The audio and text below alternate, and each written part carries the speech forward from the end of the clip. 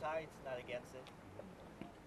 Once the once we have a good position, Upper minute. Just oh, like give it a wash and it'll be good as new. And put it back in. This one would be consumable. We would have to replace it eventually, like if it gets like worse than this. This is like all right. and that helps to prevent any solid that's staying like above the water. It goes in each. Starts from down here, goes from there, and then With that, I, I put the chlorine in with the right amounts for this amount of water and PSI. It's about seven ounces of chlorine. Marines can't use this water until we say, until the medical uh, advice says, hey, it's good to go. It's safe. So I need to hold it at a certain level uh, and able to, so that yeah, just the air. White's just there.